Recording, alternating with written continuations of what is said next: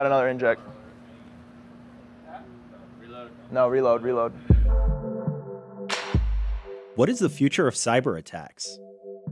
And what's the military doing about it?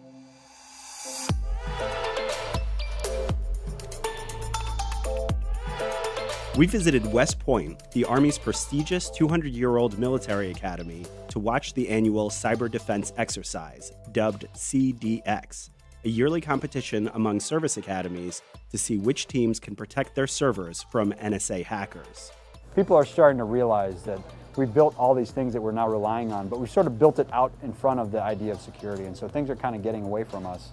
And now we need to take some time to kind of ratchet it back in and figure out how we're going to manage this really complex world we built. The West Point team spent months creating a server that could handle email, file transfers, and other services for thousands of simulated users. For several days, the group of two dozen cadets huddled together in a computer lab to guard their systems against exploits from the NSA. Cyber is the new frontier, always learning new things, always developing new things, and being able to protect something that's so important in our everyday life is definitely crucial.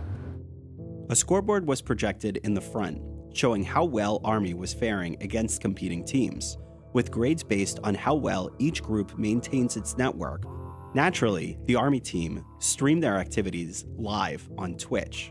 The top team takes home this big shiny trophy. This year, though, Army's big rival, Navy, won. We're also here to visit the Army Cyber Institute, which is a new think tank here that asks all the different questions about what the future of cyber defense may look like. We met its director, Colonel Andrew O. Hall.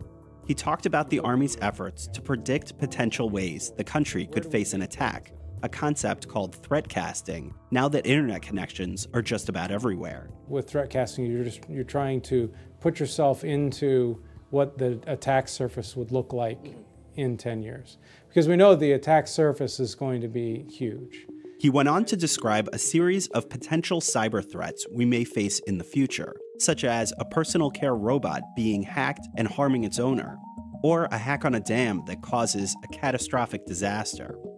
Pulse Think Tank is also considering the potential of some pretty sci fi concepts, like augmented soldiers and autonomous drones.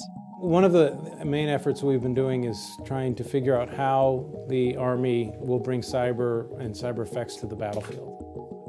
I don't know if it's terrifying or comforting that high level Army officials are thinking about robot attacks and bionic soldiers. And sure, cyber attacks may worsen, but efforts like these should help the military prepare a little more for what's coming.